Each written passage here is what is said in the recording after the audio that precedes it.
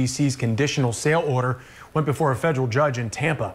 ABC Action News reporter McKenna King tells us what came out of that hearing and when we expect a ruling to come down.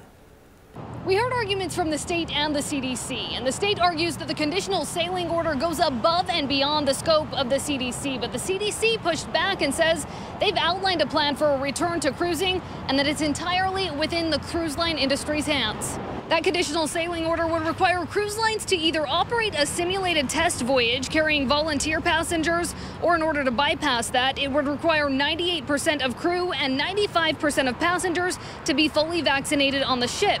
But the state argues this conditional sailing order should be rid of altogether, saying the industry has the ability to regulate themselves. The CEO of Port Canaveral was in the hearing, and he argues the CDC's orders are inconsistent. I can get in an Uber, go to the airport, change planes in Atlanta, fly to Las Vegas, go to a casino, check in, play the tables every day, eat in the restaurants every day, never leave the hotel, get back in a plane, take another plane to Atlanta, get home, take another Uber. What's the difference in that and going on a cruise ship? Except that a cruise ship is a contained bubble. Everybody's been tested before they get on. On the other hand, the CDC argues they've laid out a return to cruise plan, and they argue that the fate of the cruise line industry is entirely within their hands so long as they meet the guidelines. Now, the judge did state the question that at what point does the CDC's timeline for its order become unreasonable?